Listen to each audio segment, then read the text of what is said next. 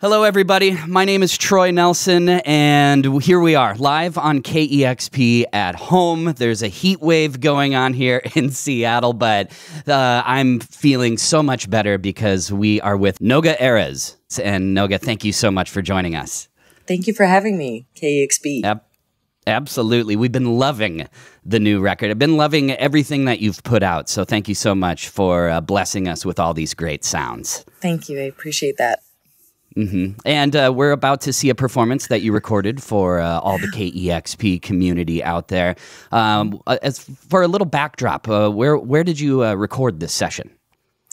Well, I was uh, lucky enough to be able to record this session in the Tel Aviv Museum of Art, and this is the part that kind of connects between the old section and the modern art section. So it's like I think it kind of I don't know maybe it has some kind of a deeper meaning to it, but it's just a really beautiful space and they let me film it there. So it's cool.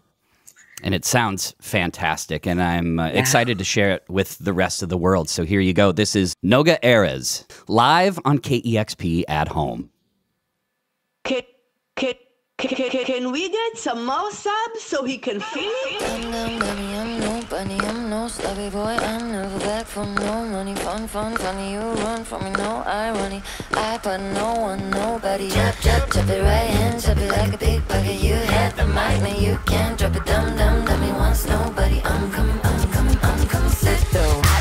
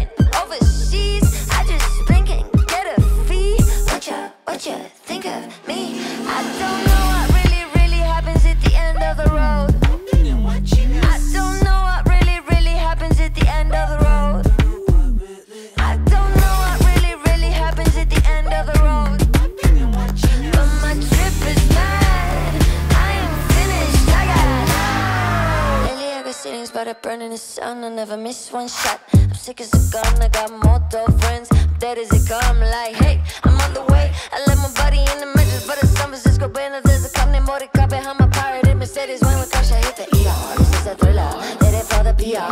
Did it for the fear. I didn't know and there's a denim pack in the back of the fridge. Go pick it in my triple taking bacteria. So my sex in a menagerie. Cracking my doggies. I'm back. I just tell them to bake it up, bake it it. I don't, I don't know what really, really happens at the end of the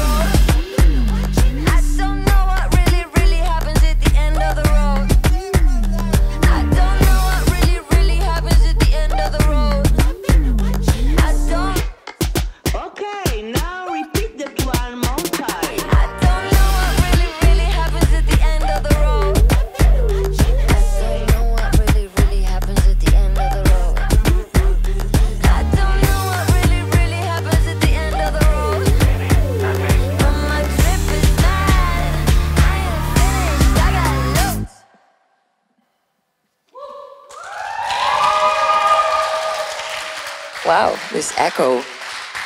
Crazy. Thank you. My name is uh, Noga Erez. We're so happy to be doing this uh, KEXP session. Let's go.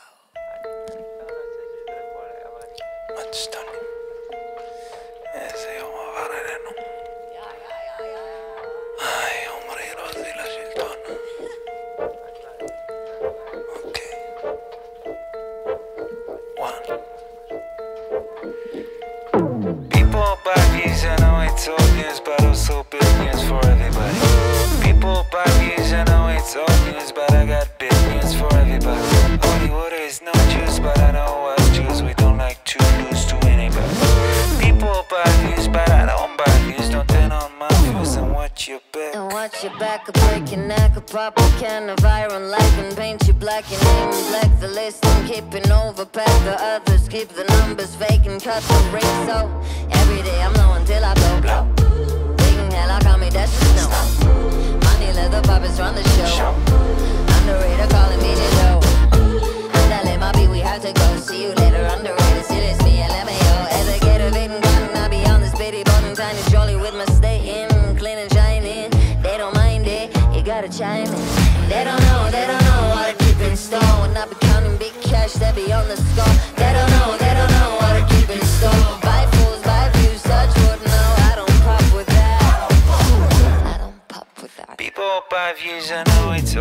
but also big news for everybody. People buy news, I know it's all news, but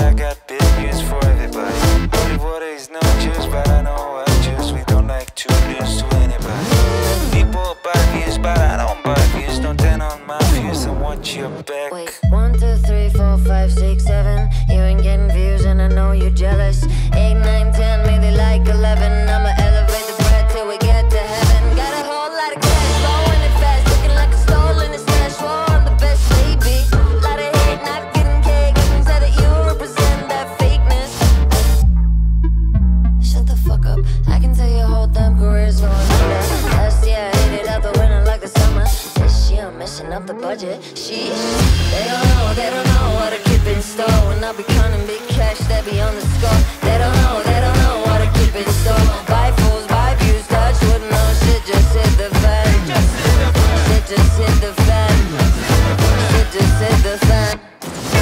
Shit just hit the fan. People buy views, I know it's obvious, but also billions for the. People buy views, I know it's obvious, but I got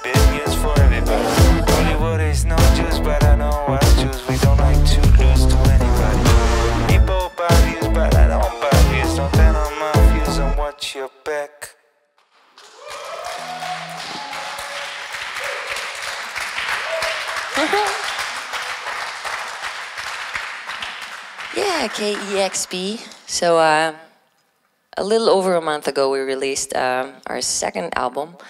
Um, it's called Kids, and it's been crazy journey ever since we released it.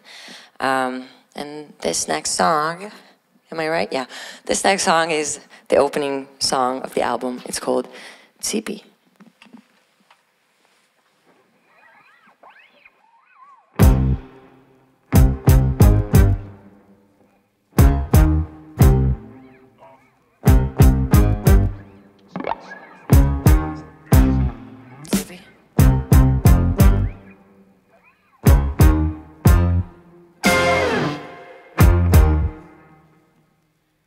I've been deep, deep, deep, deep, depressed.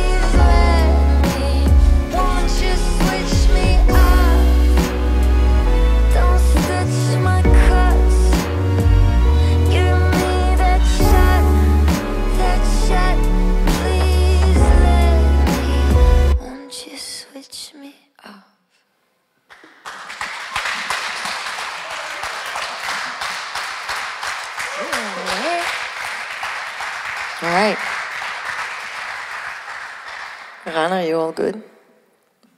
Shaky? Feeling kind of shaky? Okay. Well, luckily, this is our last song. Um, my name is Noga Erez. It's been a pleasure. Thank you for having us, KEXP. We love you. And this is Fire Kites.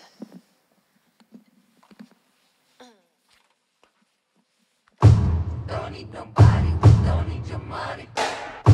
Don't need nobody, don't need your money need nobody, we don't need your money. Don't need nobody, we don't need your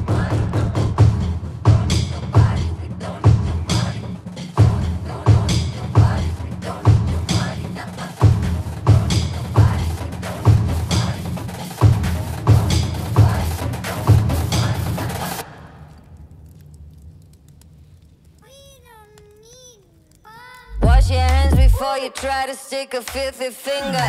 Talking basic bitches got you as far as the glitter. Glitter. 8,000 ways to glory should be self explanatory, but you need tutorials to make it slicker. Water dripping long enough could even pierce fucking rocks. Pointing which directions I won't let you slip between the cracks. I slip with enemies and friends if you want me won't want ya. Whatever works, be sure it's kosher. Kosher. Got fire kites.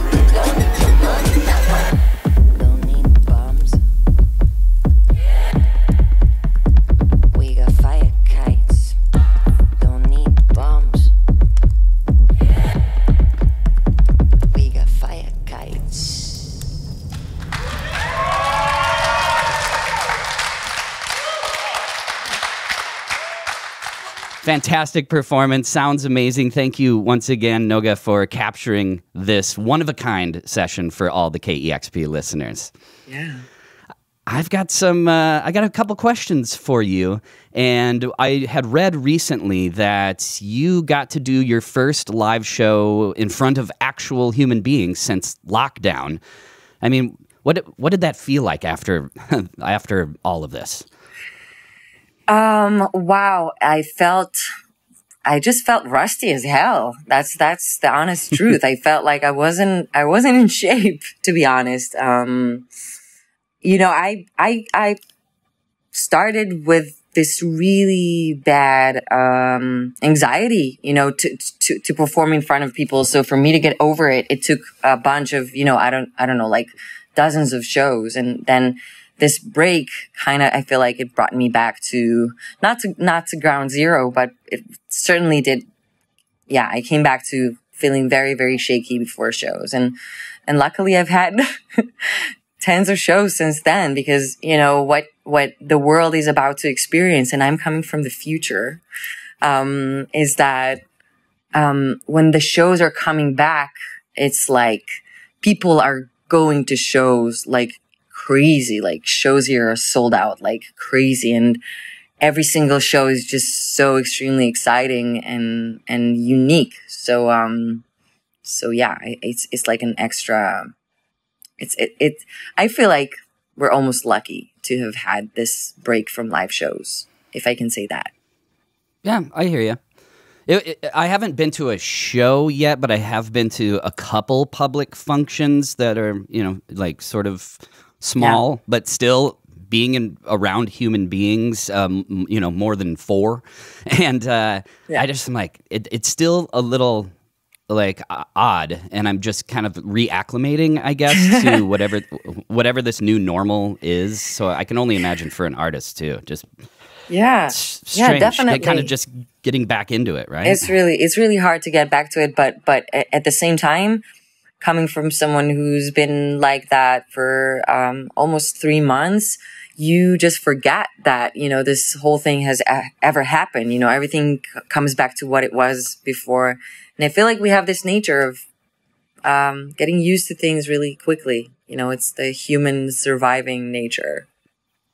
I've talked to you know obviously a bunch of other artists during the pandemic, and uh, a large handful of them said that they just didn't really feel inspired to record anything during lockdown. And I thought that was interesting because I would think, oh, this is a great time for people to to you know just hone in and record a bunch of stuff since there's nothing else to do. What Yeah. was your experience with creativity during this?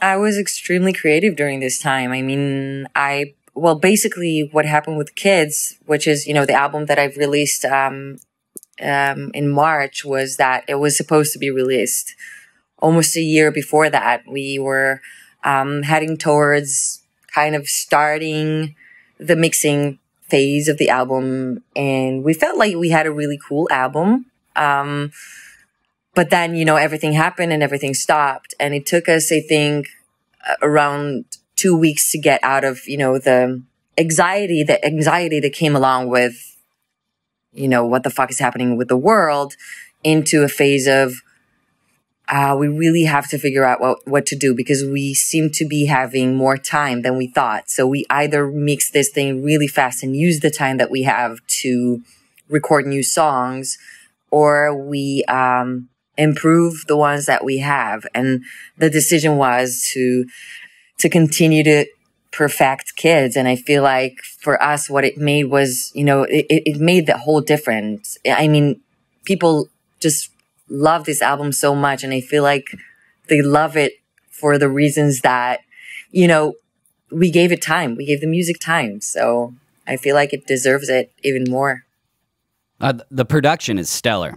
When I first heard the song Views, I was like, wow. I, I immediately wanted to hear it on headphones because it sounds so good. Who who is the guest on that song? Who's doing that chorus? It's so it's so catchy. Well, Ori Rousso, who is my partner in life and my partner in music, and also the person who sings the chorus and is the producer of this project, and we work on the music together on every single aspect. Um, he's, you know, a genius, and I'm so lucky to have him as my partner. And he's he's the dude in the Views chorus that you know that song has done a lot for us and i'm i'm really happy that we got to we got to to do it Oh yeah! Immediately when I heard it, I'm like, "This Yeah. is going to be something." Yeah, yeah. uh, I, lo- I love when that happens, and I know that you're in, uh, obviously all artists are inspired by many things, but I've heard you reference a certain lyric, and that lyric is somebody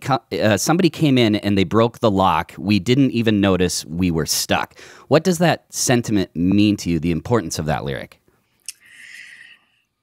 i felt like well this this is a line from the song no news on tv and this song is a clear pandemic song i mean we didn't want to say that about it but it's we, we have to admit that that's what it is because when we when we realized that everything is um, actually stopping and we started to get you know locked inside the, the studio and work on music there was a moment where we felt that um, everything is so quiet and peaceful you know? In a way what's so strange about this is was that everything around us was so peaceful. But then our phones kept sending us like this really horrifying notifications about how the world is like i don't know ending. There's like the apocalypse is is happening mm-hmm. right now. And and for me it just felt like so so interesting in a way to see how well, I can only speak for myself. Like for, for me as a, as a human being, I'm so used to be, um, in the chase of things and running after something and trying to, to make it in, you know, with my work and, and to, to make money and everything. And then, and then the moment that someone sets me free, you know, gives me time to be, you know, in this space with myself, to be connected with myself, it, it terrifies me. I mean, it gets me to a point that I'm like, you know, I'm, I'm scared of boredom. I'm scared of this, this quiet and this nothingness. And, um, and it's like, yeah, like when someone, when someone breaks open, you know, a lock of this jail that you were in, but you were not even aware of, I think, I think like this is a really, um, you know, it, it, it tells about the way that we live our lives, you know, in the modern world, I guess. So true. And you had mentioned uh, cell phones. I had a question for you. What would you say that the voice memo app on your phone is? How crucial is that in uh, you creating music? Oh, it's like the probably the number one tool. I mm-hmm. I realized, and one of the things that are great about making a second record and um, doing it with you know in in an in a loving environment was that I realized that I don't like the studio. I don't like the recording studio. For me, the recording studio is a very intimidating place. It's a very not creative space for me. And it was really hard for me to admit that because I felt like, what, what is it saying about me as a musician that I don't like to be stuck in it, in a studio for hours and hours? But then, you know, Ori, who, who's always so incredibly sensitive about these things, who's my partner in all of this was was smart enough to tell me maybe you need to be creative in other places. And then he, you know, he just gave me the key and I, and I stepped right out of the, you know, studio and started creating in, uh, in other places, like while walking, while being in movement. And, you know, so the voice memos are, yeah, a really important tool for me. Mm. I, I too am very sensitive to boredom. Like I am, yeah I also am, am scared of it, and I get bored pretty easily, and and I, I've made some records myself, and I have to say that I find the studio incredibly boring. and here it is, you're making something that's going to live forever and that you're going to be so happy with. And this is how I feel. It makes me feel bad because I, here I am just bored in the studio and I'm I'm kind of complaining about it. And then when it's done and I listen back and and people are enjoying it and I and it sounds great, I'm like, ah, it was worth it, but I was still bored. yeah. And you know, also the thing about the the life, I think life as a creative now from you know the the very specific perspective that I have is that I think I think probably like three percent of the time you you are happy with what you're doing. You love what you're doing. You you you just finished a session and you have a song and you know and that feeling is what keeps the other 97% so um attractive, you know, but you you need to know, I mean, that's how it is for me anyway and for many people that I know. You need to know that you're going to go you're going to go to work in order to fail most of the time for you to be mm-hmm. able to to actually succeed in what you're doing. But but I have to say that the same way you you feel about you know listening back to it and then having other people re- resonate with it. You know, the moment that you realize that you really have a song and that the song is actually good is I wouldn't replace that feeling with anything else and I would be chasing that feeling I feel like um my whole life. Right. Do you do you remember the the song that just really turned on the light switch in your head that made you want to do this particular sound? Of course, when we're growing up, we have a whole bunch of influences or we love this artist or lo- but as far as the sound that you create, do you remember the song or the artist that turned that light switch on? Um, I mean, it's it's the the um, the type questions that are searching for one moment or one uh, one scenario in life are always kind of difficult for me and i feel like this is also it's not because these questions are not the most interesting ones but it's because Um, and I think that you could hear that in my music. It's not, you can't say that it's very cohesive. You know, one song can can fit. And you know the, the songs are together in the same album and they do seem to feel like they're from the same family but but the songs are so different and so influenced by by by different things. And um so it's hard for me to say but i i do i can say that there was one moment with um, Joga by Björk that i realized that i want to explore electronic music you know, I had a moment with I it's it's written Joga, so I don't know if it's yoga or yoga or but but it's a beautiful beautiful piece. And then a moment a moment with with James Blake, and later on with Kendrick Lamar with um, "To Pimp a Butterfly." That kind of you know with all my with all the gravity that went towards you know electronic music to pimp a butterfly brought me back to my roots which are you know heavily in in jazz music. So it brought me back to some acoustic, some some sound of wood and um, right. Yeah. Right. Uh, speaking of non-electronic music, how influential is PJ Harvey to you? Extremely influential. Um, I mean, PJ Harvey. Every time I speak about her, I feel like um, this is just way beyond a musical um, influence. It's just um, the moment that I discovered her music was monu- monumental for me because up until that point, I used to listen to music that was um,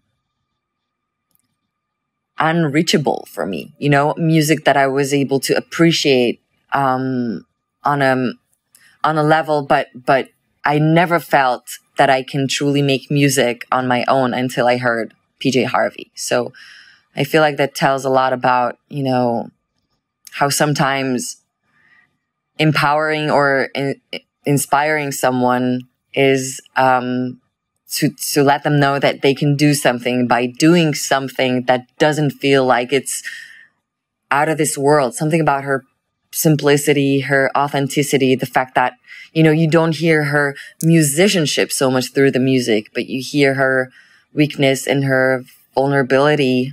Um, I feel like that was the, you, you know, the one thing that was like, I can do this thing myself. And and do it for a long time because she's still all these decades later is still making fantastic fantastic music. It, it blows my mind every time. I mean, she, she's a, a legend. Yeah, I and, definitely uh, agree. Unbelievable. And Noga, once again, we've just been loving every single thing that you have released. And I know that uh, Ori was going to be part of my last question, but we touched on Ori and uh, his brilliance uh, as a producer and a musician. And that is so cool that you two, you guys are lucky to have each other. Oh, yeah. Uh, it's a magical uh, duo. Oh, yeah, for sure. And mm-hmm. it's not, I mean, mm-hmm. I know, I. I know that every single day. And uh, it's a part of being um, part of being smart is being grateful. And i try to be grateful especially for the fact that i have ori in my life. You know finding your musical partner is not an easy thing to do. That's so true and uh, once again, hopefully, we're going to be hearing some new stuff in the near future. But believe me, everything that you've got out there, I'm still listening to it. So I can wait patiently, but we appreciate uh, having you, Noga. So thank you for taking the time to, to uh, record that performance and sit down with us once again. For sure. For sure. And one of these days, we shall do in person when we can have, you know, human beings in the KEXP live room. Listen, Troy, I mean, I wanted this session so much, like for so long. I wanted that black studio with those little lights. I mean, that was that was a vision that I had in my mind. And then and then when we were starting to talk about, you know, the home session, I was so mm-hmm. extremely excited to be to be on this. But I was like, can we please postpone it so I can come to Seattle and do it? Um, oh, you're you're in, you're welcome anytime. So once, once we're able come. to do once yeah once we're able to do that, believe me, you're gonna you're gonna get an invite real quick. All right. Yes, Cool. but uh, that there you go. A fantastic performance uh, from Noga Erez, and uh, we appreciate you and uh, wish you well into the future until we see each other again. Thank you so much, Troy Nelson. I appreciate that. Absolutely. yes, that was Noga Erez live on KEXP at home. If you want to say my name properly, would you like that? Oh, it's not Erez? Well, well, Americans tend to say Erez because, Right. well, well, it makes sense because of your language. But actually, in Hebrew, most words are like Erez, like the the the weight is on the beginning of the word. So if you want to correct that, Erez. Erez, yeah. Okay. God, I've I watched multiple things, and I was like, Well, Jimmy sounds like- Kimmel said Erez. Jimmy Kimmel said Erez, and then it's it's a huge joke here in Israel. Like everyone is like Noga Erez. It's like everyone loves that. You can say Well, that. I don't know, can what- recreate. I'm bl- I blame Jimmy. Um, Well, yeah, for sure. okay. All right. Let's let's just uh, do it again. Erez. Erez. this is hilarious. I love this. Because it's so. I swear. I mean, I've heard it. I, I thought even I've heard well, you say you, it. it's a rolling. If we call it like a rolling mistake. A mistake that you just roll down the line. So am I emphasizing the res or the air? Wow. the uh, the eh, the Erez, Erez. Erez. Yeah, Erez. you're emphasizing Erez. Okay, Erez. Erez. Okay. Well, it might not be perfect, but it'll be better. How's that? I'm trying. You you also don't have to do it. Like seriously, this is. Well, people will just laugh again, and it's cool. Okay. Well, I'll. Uh, I'll do another little Try. intro, Yeah. and then uh, and we'll, we'll pick the best of the two. Okay. All right. Hello, everybody. My name is Troy Nelson. This is live on KEXP at home. We're having a heat wave here in Seattle, but I am feeling so much better because we are with Noga Erez. And uh, thank you so much, Noga, for joining us. a little better? You did it. What? what did I do? you did the same thing. Let's let's. Erez. Er- Why is this hard? It's it's because it's so unnatural for for English to to you know emphasize the first um syllable. I guess it's yeah. Erez. Erez. No, it's like Er- Erez. Erez. But, Erez. but seriously, I really think this is Erez. this is cool. Don't worry about it. I should stop telling Oh, people. Sorry. I'm trying. I'm sorry. I- I'm sorry. Epic. Yeah. All the research I've done, and I was like, "This is how you say it," and then now I can't like uh, it's errors. Well, errors. yeah. Errors. it's okay. Okay. S- You can just say Noga Erez and Jim will overdub it. Yeah, Because the microphone is hiding your lips. that's true. So Noga errors. All right. Noga errors. yeah. Noga errors. Easy enough. It's Noga errors. Noga errors. Noga errors. Yeah. Is that better? Yeah, it's great. Jeez. Sorry. Apologize. No, it's I'm sorry. I'm the idiot over here. No, actually, All right, yeah, so- yeah. Let's move forward. oh my Let's just talk God. ab- Let's Yeah. just talk about your last name the whole time. All right. I'm like, is it air or er? Is it res? oh my God. High res. Res? High Yeah. res. High res, high, air, high Noga high resolution, resolution. here with us.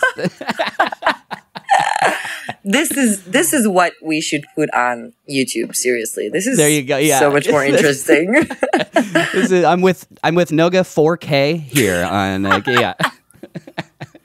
We're it doesn't great- seem like great- it, but this is really high resolution. yeah, it doesn't seem like it. No, it- it looks like we're chatting through a, a Nintendo Game Boy from 1989. exactly. All right. um, okay, so I just have a few questions for Yeah. you. And uh, here we go. Uh, out of the video. Yeah. Discover new music at listenerpoweredkexp.org.